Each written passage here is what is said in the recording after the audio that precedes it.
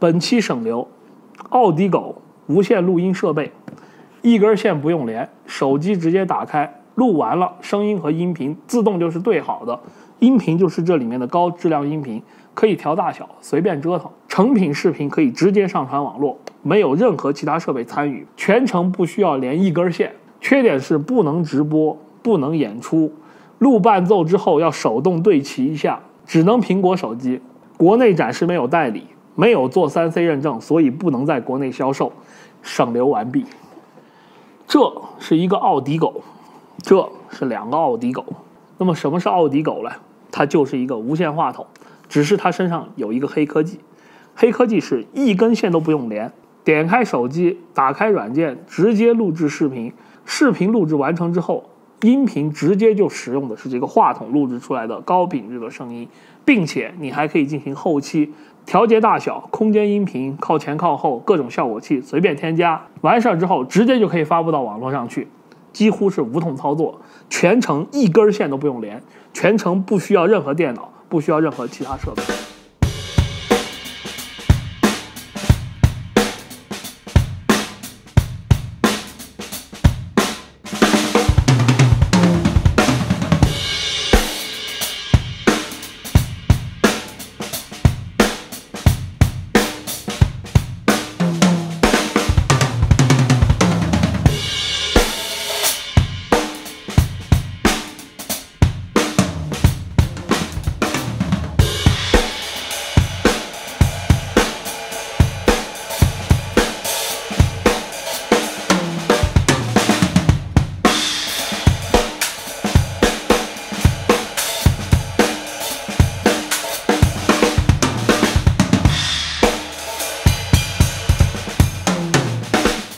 差不多两个月前呢，我一个伯克利的朋友来给我打了电话，说他知道有这么一个公司在制造一个这样的产品，他很感兴趣，问我有没有兴趣拍一期视频。我说没问题，可以。那我这朋友当时第一时间就加入了预购这个队伍。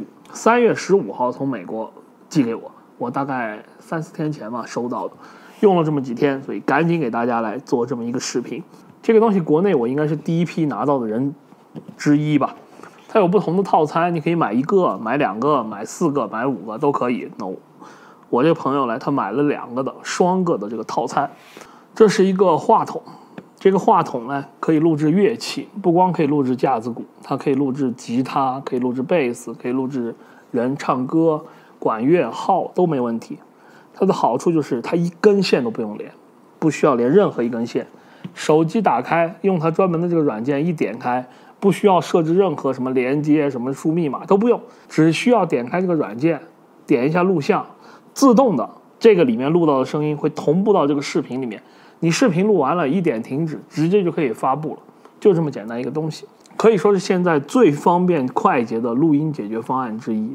尤其是录制乐器，就显得特别特别方便，因为它一根线都不用连，没有任何学习成本。开机这边开开。就一开始对码什么都没必要，开机开开这上面自动就识别了，点一下连接就开始录了。只有第一次需要点那个连接，之后连那个连接都不用点，就它自动就配上了。你开几只它就配上几只，你开两只它两只自动配上，开一只它就只配上一只。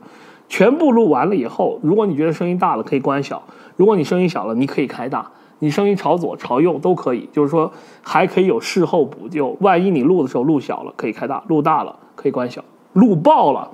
抱歉，那就管不了了。但是基本上不会，因为这个软件上自带一个监控，如果你声音爆了，它自动就红掉了。你看红了，你就拉回来就完了。这都是可以调节的。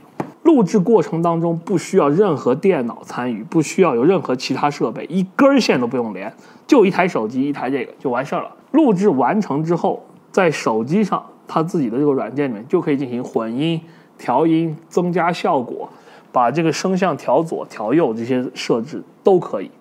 并且，有的人，比如说你要唱一个伴奏，要录制一个音乐伴奏，只要你提前存在手机里面了，录出来的就是连伴奏带架子鼓或者连伴奏带吉他一套活，一次就成型，什么都不用再管。然后事后还可以单独调节伴奏的音量大小和你录制架子鼓的音量大小，都可以单独调节。那听到这里，大家肯定会觉得，哎呀，这难道不是梦幻般的产品吗？这不就正是我们需要的吗？摒弃录音师是吧？干掉录音师就在今天，所有录音师下岗就在今晚。但是很，抱歉，我只能说，呃，理想很丰满，现实很骨感。我这个产品依旧还是有缺点。那么接下来我就跟大家聊一聊我在使用这几天之后发现这个产品的缺点，或者说它的不适合我的地方吧。第一，这个产品不能直播；第二，这个产品不能演出，演出用不了，直播用不了，它只能拿来录音，也就是说只能录制视频用。单独录音可以，同时录音又录视频也可以，没问题。但是不能直播，也不可以演出用，这就是第一大的痛点了。大部分人购买这种录音设备，它都有直播的需求，但这个东西完全直播不了。这个直播不了是软件层面的，由于它自己这个软件是个封闭型的软件，它跟外外面的软件不沟通，所以你如果想在什么平台上直播，你需要那个平台能够跟这个公司取得联系，并且人家这个平台要跟这个公司有合作关系。那最后在这个平台里面开放这个这个话筒的功能，才能让你在那直播，是个技术上的事儿，实际实现肯定是不难的，但没有办法演出，这个就是它本身的一个硬伤了。这个东西的传输是靠蓝牙传输，蓝牙这种协议传输就有比较大的延时，如果你拿去演出，就会导致画面和声音严重的不同步，这个就是没有办法演出，也没有办法直播。这两点你耐不耐得住？你要先问问自己。然后来到第三点，这个东西。因为是非常新的一个产品，所以它暂时并没有在国内销售。大家可以看这个东西是没有三 C 认证的，在国内销售的电子产品必须要有三 C 认证。这个东西还没有三 C，也就证明它在国内暂时是不允许销售的。所以各位也就没有必要问我去哪里买，在在哪卖，没有卖的这个东西，暂时它还不允许在中国销售。所以为什么我在一开始就跟大家说这不是一期广告？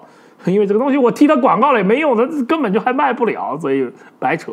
多少钱也可以跟大家说一下，这两个东西连上运费，连上税金，一共折下来人民币差不多两千六百块钱一个，所以这两个就五千多块钱，就这么个价格。接下来说第三个缺点，第三个缺点呢，就是我刚刚说了，如果你想录制一个视频，它一根线都不用连，是不是真的呢？是真的，但是这里面都有但是。如果你想录制一个音乐，就是你想跟一个伴奏打鼓的话，那么除了你把话筒支好，手机支起来，对吧？你肯定得架在你架子鼓前面嘛。那么这个东西距离就你就有一段距离了。你这个时候呢，可以再连一副蓝牙耳机连到你的手机上，用蓝牙耳机听这个伴奏，这个是没问题的。你用蓝牙耳机听这个伴奏演奏，它可以同时连接很多个蓝牙设备，这一点问题都没有。但是等你录制好了以后，你需要手动的把这个音乐和你演奏的架子鼓对齐，因为它天然是对不齐的。蓝牙这个东西录进去是一个时间，你蓝牙耳机到你耳朵里，你听见又是另外一个时间，等于你录出来天然就是错开的。你需要人工的再把它对齐在一起。这个东西不算特别难，但有点烦，是个小技术活。你如果完全不想对起来了，可以接一根线，就是用有线的耳机延长线连到这里。那么你录下来就是对齐的，天然它就是对在一起的。这两种方法你任选一种。所以你说完全一根线也不用连，那不是，它还是需要连一根线。但如果你真的一根线都不想连，你后期稍微调整一下，你总有一个要麻烦一点的地方，不能达到完全傻瓜式的，就是蓝牙耳机连这里面自动就给你对齐了，还没那么先进。最后一个缺点就是大家在开始的时候不是听了一下我拿这个录制的视频和音频嘛？那么你听起来效果还可以，对不对？但我下面也写了，经过后期处理。如果你完全不后期处理，这上面的效果器你也不用，任何效果都不开，任何调试都没有，在音频大小都正确的情况下，大家听到的是这样的一个效果。你听听看。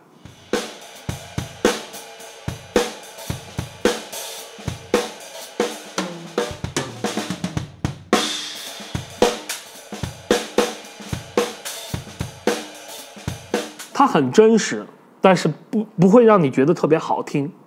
你需要有一定的后期能力，也就是说，这个东西虽然说非看起来非常非常方便，如果你想达到一个让人非常愉快的音色效果，还是要在这上面戳戳点点、美颜什么的都还得再加上去一点。不是说直接录出来它就带好美颜的，就是 EAD 十种设备了，它天然出厂就带美颜的，因为它的那个脚鼓触发器是一半电鼓的声音。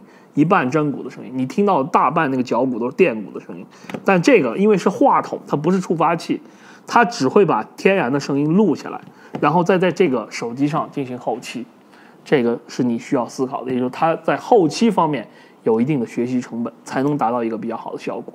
如果你完全什么都不想弄，你是一个不太善于这方面操作的人，这个出来的结果就会是一个非常普通、不爆炸、很真实的一个声音。还有一点忘了说了，这个设备暂时只支持苹果电话，其他设备一概不支持，只有苹果手机能用它这个软件，并且它这个软件在国区的账号是搜不到的，因为他们还没有在国内开始销售，所以国区自然也就没有他们的软件，你得出国留学才能。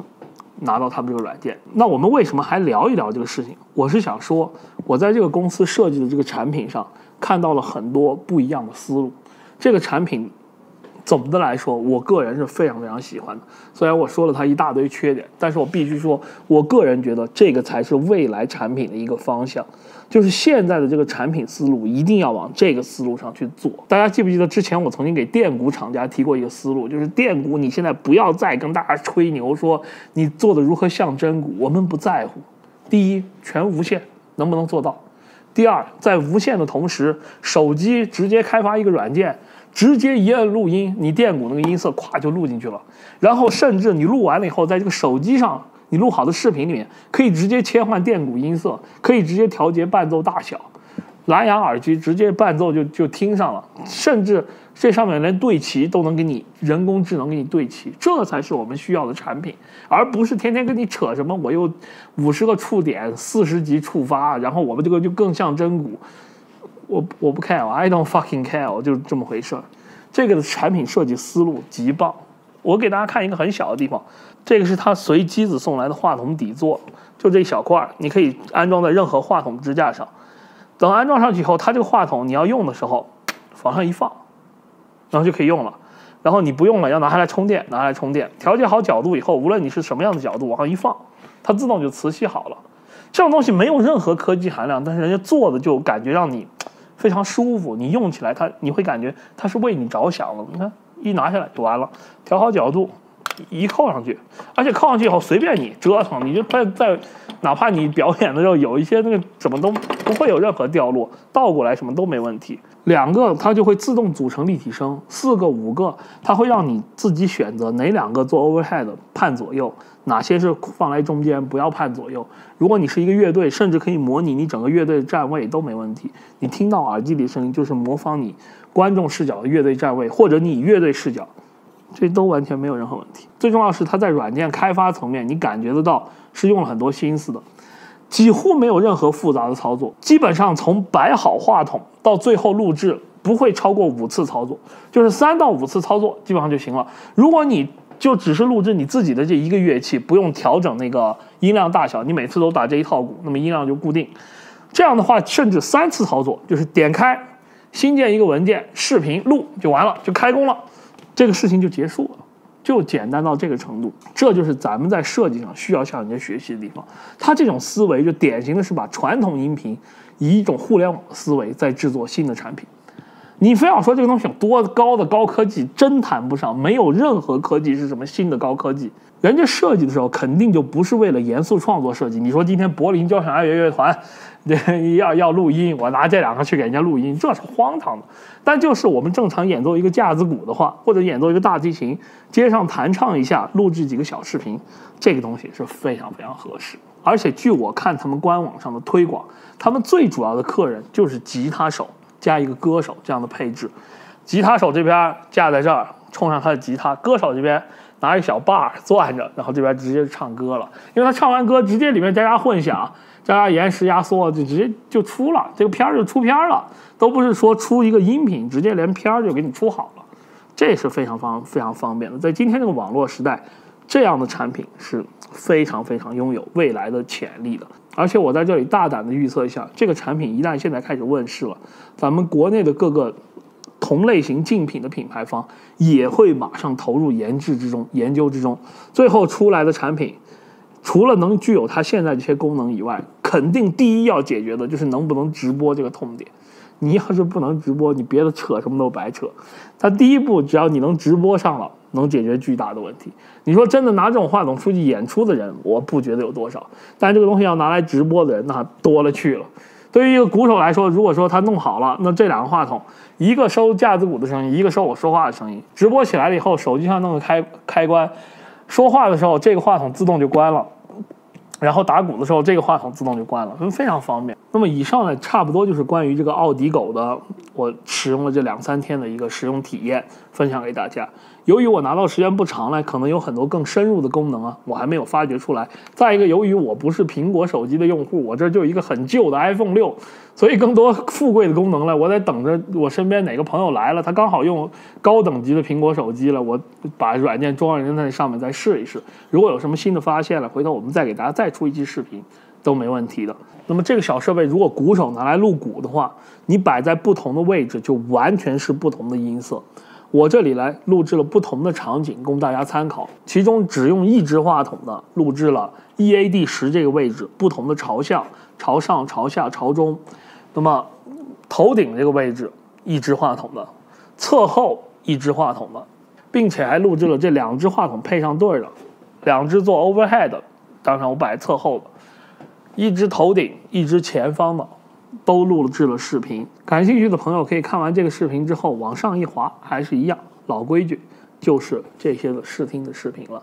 那么关于这个小产品，如果你有什么其他的问题，也欢迎各位给我们留言，大家共同探讨。啊，不要问我去哪里买，我也不做代购，我也不做这个广告，这个东西现在就暂时没有卖的。大家请各自捂好自己的钱包，也就是了。那么本期节目呢就到这里结束，我们下期再会，peace。